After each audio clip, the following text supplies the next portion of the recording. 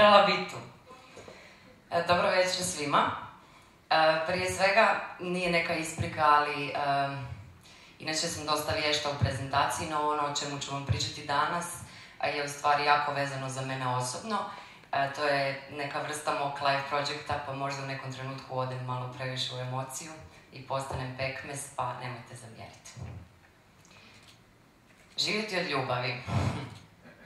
Kad sam početkom ove godine prodala svoju prvu priču, za koju sam dobila novac, srce me uklo u Ilicu, u jednu trgovinu gdje je živjela jedna haljina boje fuksije.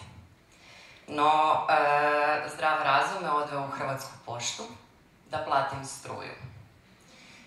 E, u pošti me dočekala standardno ljubazna gospođa na šalteru, znate kako to tamo obično bude.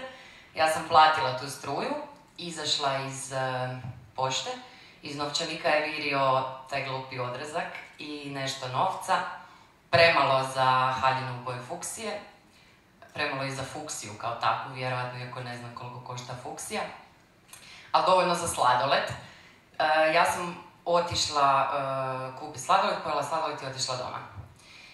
I sad e, tu večer se nije baš ništa pretjerano bitno događalo do jednog trenutka dok mi nije došla poruka SMS poruka e, na kojoj je pisalo, sad bi se to trebalo vidjeti, ali ovi slajdovi idu sami od sebe zbog tehničkih grešaka za koje nisam ja odgovorna. E, a u poruci je pisalo otprilike Draga Jelena, hvala vam na priči, e, dirnuli ste me, rasplakao sam se, to je drugi put u životu, prvi put je bilo kad mi je umrla mama, divno je ovo što radite.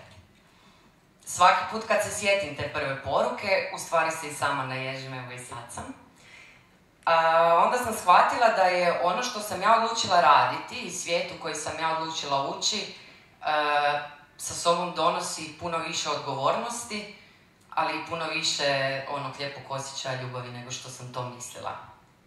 Dakle, šta radim? Ja pišem priče po narudžbi. priče koje naručuju vaši prijatelji, rođaci, susjedi, meni su to potpuno nepoznati ljudi, i stranci, ali mi se iz nekog razloga otvaraju. Razlog zašto mi se otvaraju je taj što pričom žele transferirati svoju emociju do druge osobe. Ta priča služi kao transfer. Ovaj scenarij koji sam opisala na početku, e, sa pričom s kojom nisam kupila haljinu boje fuksije, e, je u stvari jedna djevojka naručila svom dečku da mu kaže da ga voli. Konkretna situacija je bila, ona je bila dosta nesigurna, e, izgovarali te riječi premalo. I onda ona je čula za mene, nazvala me i rekla mi je mm, di su se upoznali, kako su se upoznali, kad su se prvi put poljubili, gdje su se družili, kad su prvi put to.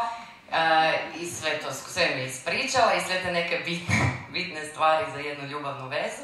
I na kraju smo stavili tu fora posvetu koje su u stvari bile njezine riječi, ali ja sam ih napisala pa ona nije ispala patetična i ona nije ispala sad nešto pretjerano pekmezasta i on se rasplakao. E, do danas sam napisala 150 takvih priča, tiskala ih u knjige. Obzirom da se ovo tu ne pojavlja, ja sam bila spremna za sve situacije.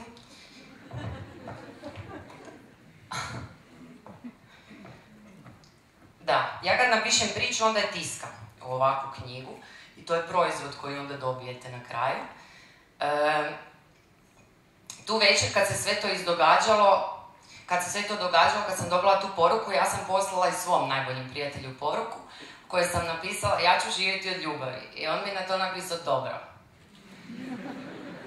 Sad, je on meni napisao dobro, zato što mu se baš tu večer nisu uh, slušale moje sanjarske priče, i on mi je napisao dobro, zato što zna da imam sigurno neki master plan kako ću to izvesti, ne znam.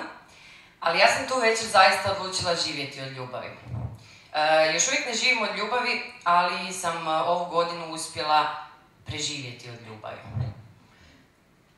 Da bi moj posao uspio, vrlo je jasno, ljudi se trebaju voljeti.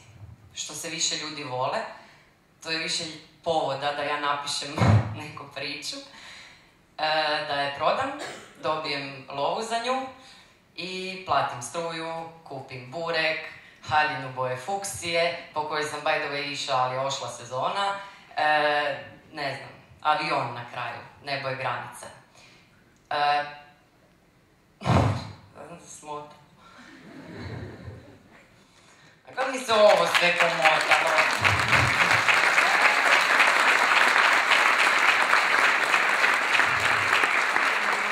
Da, najveći, e, najveći problem zašto sam uspjela preživjeti od ljubavi, a nisam uspjela živjeti od ljubavi, zaživjeti od ljubavi. To je plan, naravno, i cilj. E, iz vrlo jednostavnog razloga, a to je što ja sama ne mogu napisati nebrojen, nebrojen broj priča. Ali, ovaj, pa sam samim tim ograničena.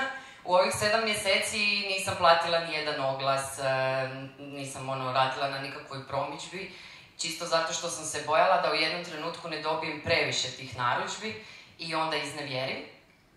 Što se u stvari u nekim trenucima i dogodilo i ne mogu vam opisati koji je to stres i koja je to odgovornost na meni, jer mislim ako naručite, ne znam, kozmodisk i ako kasni dva dana, eventualno nazovete agenta i spomenete mu mamicu, ali ako vam kasni priča, onda je to tuga.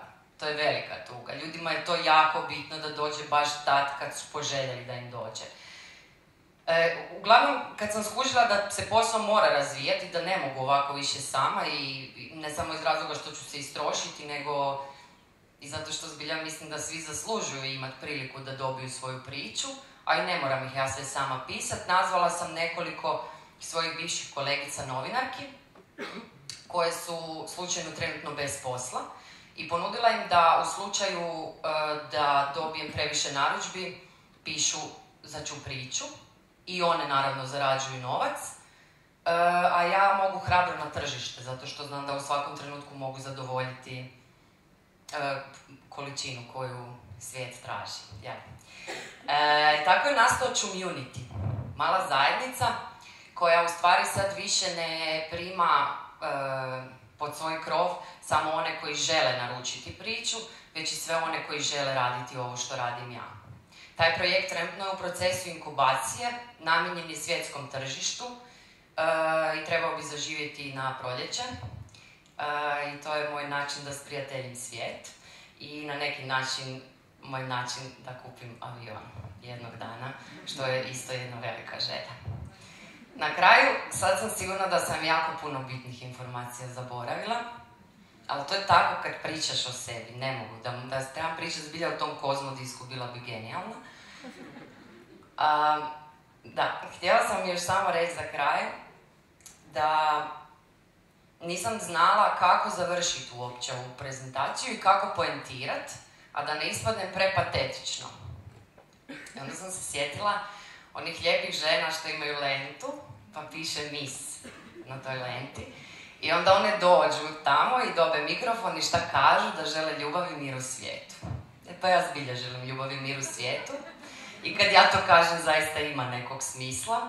Što se vi više budete voljeli, ja ću više pisati, ako znam, možda zbilja kupim taj avion konačno.